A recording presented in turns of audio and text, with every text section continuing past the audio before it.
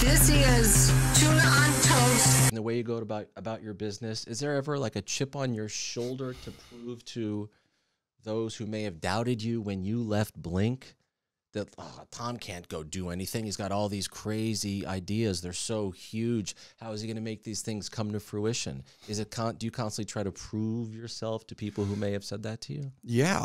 Mm. what if that wasn't the, the answer you're gonna you're like, well, no, not at all. No, no maybe no. Like, no, I just do it because I. no, I mean, yeah, I mean, I, it's not like as strong of a yeah as I said. The truth is, is that every artist is trying to prove themselves at all times. If they say they're not, it's kind of bullshit because you're putting it out there for people to interact with. Now, not every artist is salivating over reviews and what people think. I'm like, like, you know, some people you put it out or 100% of their time is what are people saying? I'm probably at like 15% of my time. I'm like, what are people saying? I don't know, fuck them. You know, yeah, like, yeah, yeah. um, but, uh, like, I think for me, it's, you know, I'm, I'm trying to prove to myself that I'm worthy to be where I'm at. Like, I'm trying to prove that if I'm going to make an album, it's got to be better than the last, or else I don't deserve to be here and have anyone like yourself wanting to talk to me about it.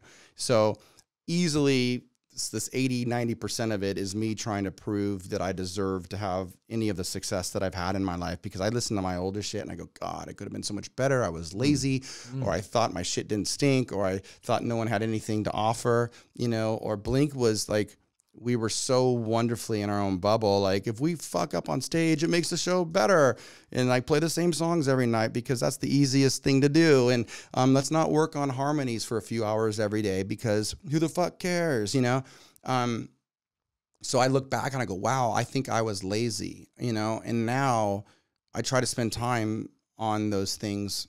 Not all the time, but I try to spend time on those things and I try to be better. And good for you. Um, that's just me it's trying. Inspiring well, you know, but I but I also have ADHD, so I'm like all over the place. I mean, I'll be working on harmonies. I'll be like, oh shit, there's like a new UFO video somewhere. I want to go watch that, and then I'll forget.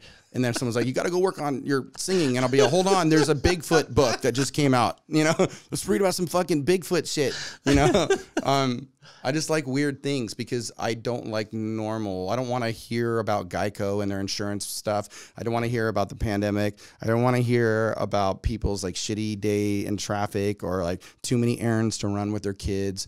I want to read about like a monster in the forest that's really might be there. You know, I was like, that's wild. Like, yeah. why would you not want to hear about that? I don't want to hear about that other shit. So I'm I'm just I'm always torn between like make make my art and like go into a rabbit hole stoned into like a Bigfoot book until like two in the morning, you know? Hope you enjoyed. Now hit that subscribe button. And for more Tuna on Toast, listen wherever you get your podcasts.